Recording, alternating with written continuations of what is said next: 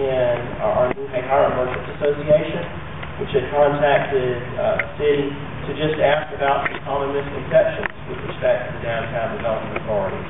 So a lot of those arose from that as well. Uh, So we'll have obviously more time for questions and answers and input from the floor, uh, but uh, we're here to talk about local efforts and uh, and certainly look forward to uh, to the rest of of what we're going to cover tonight. Okay? I'd like to go ahead and uh, set up the the next portion uh, as discussed by the mayor.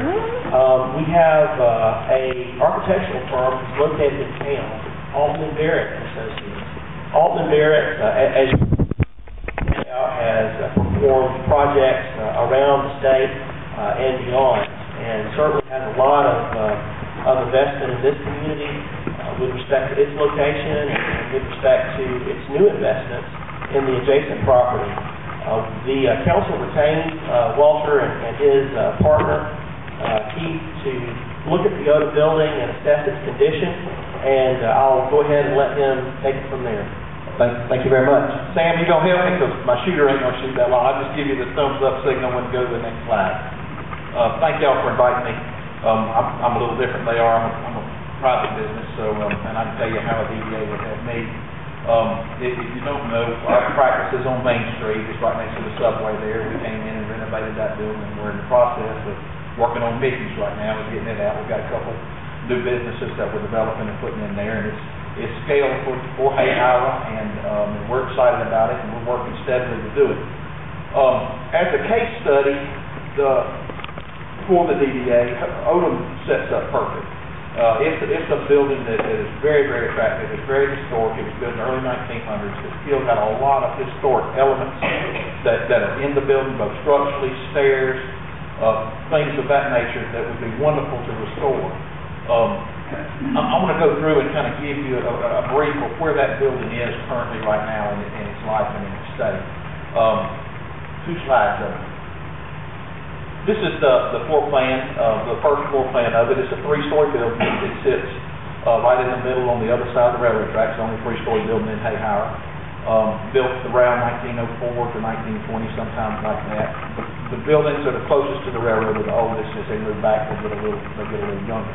Uh, this is the first floor, and if you were to walk into this building on the first floor, there've been two recent buildings, uh, businesses that have been in there, and it, and it looks like it's in pretty good shape.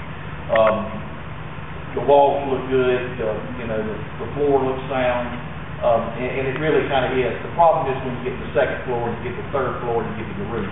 Um, water is the big construction of these buildings, and if you look at a total failure of a building like this, and you go through Barney, there used to be a little strip of buildings there that was up, and those buildings have collapsed in on themselves. And that's what happens to these buildings if you let them sit, uh, especially with the water, it brings them down. It starts on the edges, it corrupts all the structure, the roof comes in, the walls implode in, in- inside of it. Um, this building's in good shape. They put a roof on it in time to stop the leaking that was coming in. You know, it's about time for that roof to be redone. The bottom floor, as I said, looks real good. We'll go to the next slide. Here's some of the pictures. Um, um, that's Mr. Weatherton's building. If you're looking back toward it on the wall on the inside of his, looking back toward the Odom building. That was a fitness center that was on the first floor. It looks good. You can see the other, the buildings at the, other pictures at the top where the building looks like it's in very, very good shape. We'll go to the next one. Some of the plumbing fixtures and things like that have been replaced, but you can, about, you, you can bet that they need to be redone from the plumbing lines to the electrical, to the heating and air, and all of that. Uh, next slide. This is still on the first floor, looking down, and those arrows are pointing where those pictures are at. Everything looks in pretty good shape. There's some wear and tear, and there's some things that are popping off. And if you look at that second picture, that's water damage. That's water coming down the wall from the roof that made that happen. Next slide. And this is where the trouble starts. This is the second floor of it, and if you can see the hatched areas that run down the sides, that's where the water comes in. It was a pitched roof where the water shed toward the outside, and, and then when the roof fell, it came down the walls. The structures engaged to those masonry walls, because that's how they built them. So they had pockets, and they slide the wood in.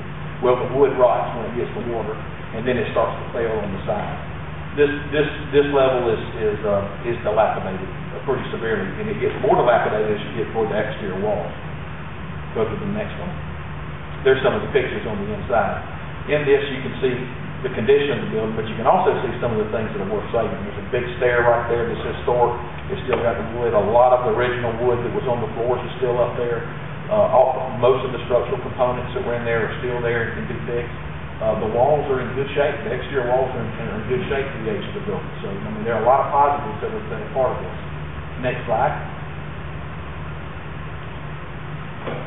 This is level two again, and you can see with the second one down the right, you can see how the wood joists engage into the wall, and you can see where the, you can start to see some of the dry rot and some of the water rot and some of the failures that you have in there.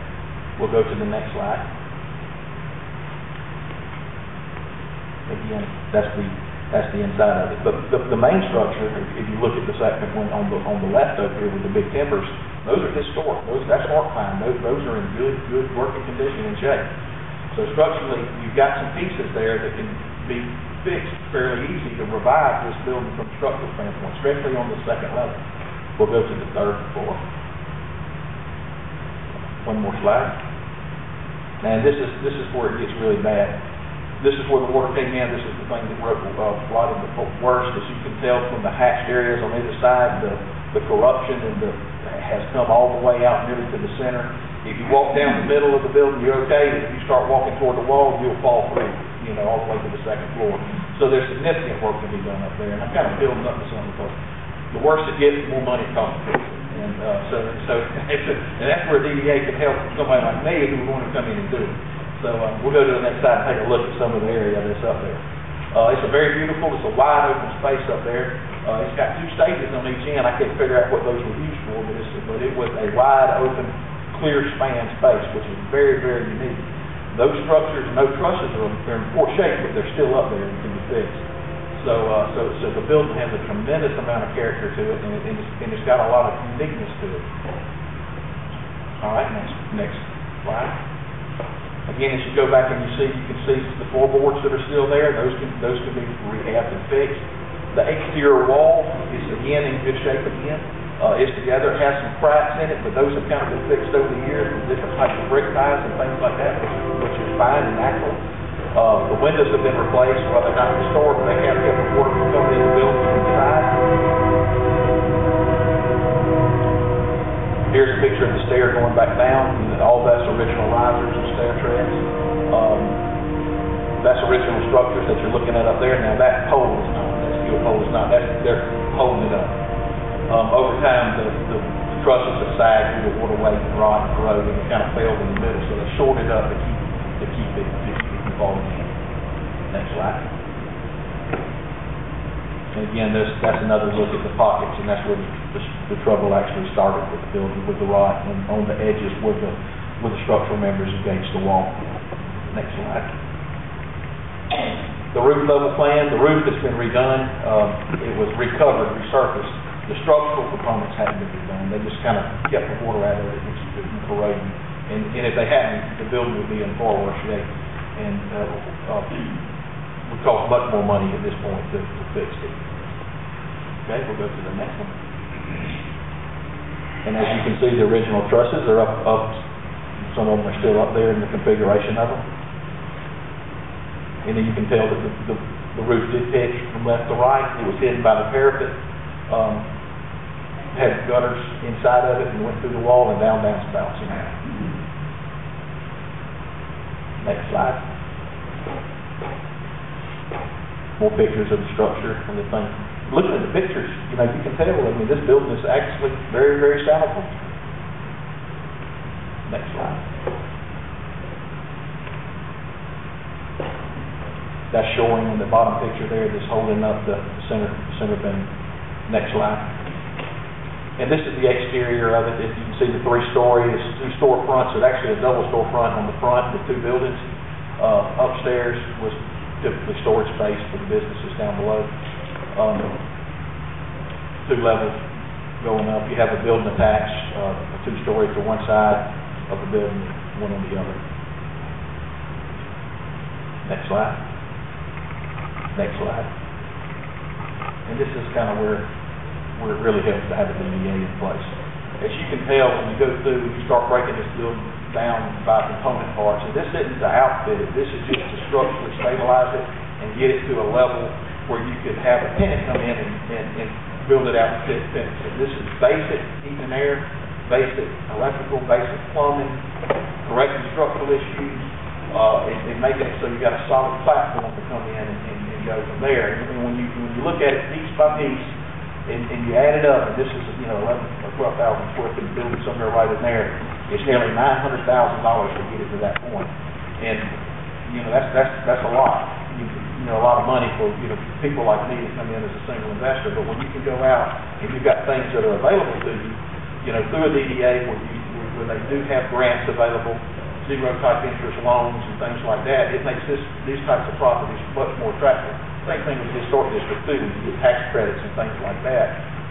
Folks, folks like me that are in the business of coming in and fixing these, uh, these become very, very, very attractive. And it, it makes, it makes Main Street look good, um, and, it, you know, it, it it shapes up, Hahira what it used to be. So, anyway, that's kind of where we are, and that's, and that's kind of what I had to say about, uh, Odom. Jonathan, anything you'd like me to add or, or, or expound upon? Okay, thank you.